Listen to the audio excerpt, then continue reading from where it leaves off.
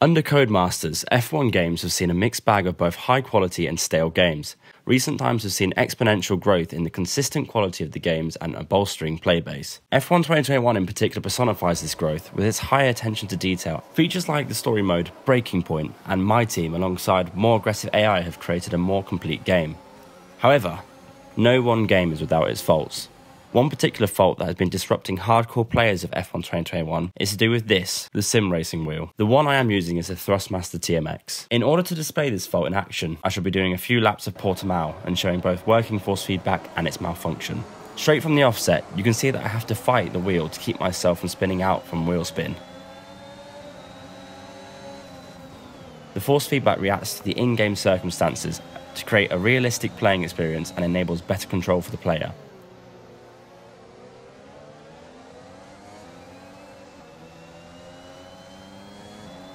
As you see in this clip, when I take my hands off the wheel, it violently reacts and shakes. This shows that the force feedback is active.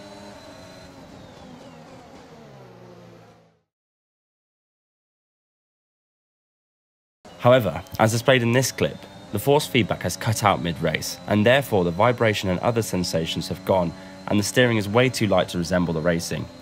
If this cuts out mid-corner, you're very likely to spin. This time when I take my hand off the wheel, there is no movement at all, showing that the force feedback has malfunctioned.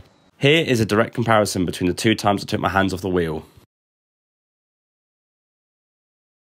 Upon Codemasters' website, they have recognised the problem and have stated the development team are currently investigating the issue and we will update this FAQ when we have more news. Patch 1.06 upgraded the force feedback support, so ensure that you've updated the game to the latest version. If you're still having issues, make sure that you have downloaded and installed the latest drivers and firmware for the device from the manufacturer's website.